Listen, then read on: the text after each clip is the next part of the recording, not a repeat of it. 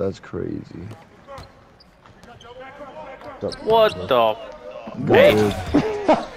oh yeah, he said he in the, he said put him in the slam dunk contest for Jalen.